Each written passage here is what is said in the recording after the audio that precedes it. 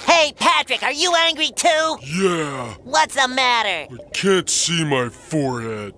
What's your problem? I have a good idea, and no one else thinks so. Me too!